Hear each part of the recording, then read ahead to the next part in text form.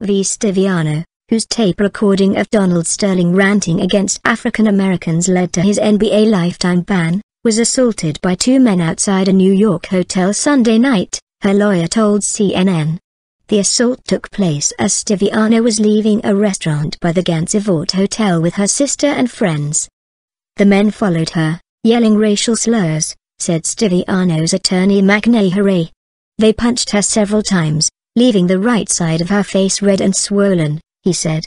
Stiviano didn't immediately file a police report, because she had to get out of there, Nehoray said. I believe she will file a police report Monday, he said. Sterling's inflammatory remarks to Stiviano spawned outrage among NBA fans, players and executives.